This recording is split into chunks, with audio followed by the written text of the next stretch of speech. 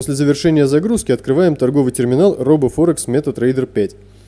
Нажимаем вкладку «Файл», «Открыть каталог данных» и в открывшемся окне открываем папку MQL5. Далее открываем папку Experts, копируем или перемещаем в данное расположение скачанный файл советника, закрываем окно и перезапускаем торговый терминал. Слева в окне навигатора во вкладке советника нажимаем правой кнопкой мыши на forexrobo.org Выбираем пункт «Присоединить к графику». В открывшемся окне отмечаем, ставим галочки, разрешая советнику изменение настроек сигналов и алгоритмическую торговлю. Переходим во вкладку «Входные параметры» и вводим ключ активации. Также прописываем лот.